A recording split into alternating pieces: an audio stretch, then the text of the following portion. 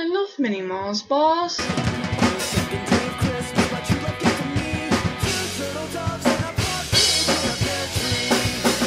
I also love Boxing Day, aka Leftovers and Sweets Day.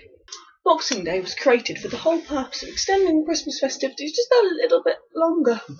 But I'm not complaining. A whole day of eating and drinking any old crap and watching any Christmas specials you missed because you were still in a state of awe from Doctor Who, or alternatively watching Doctor Who over and over and over again. It was pretty damn good. Another thing to love about Boxing Day is the sales. Something I took a good advantage of when I ordered a. Uh, actually, I won't tell you. It's a surprise.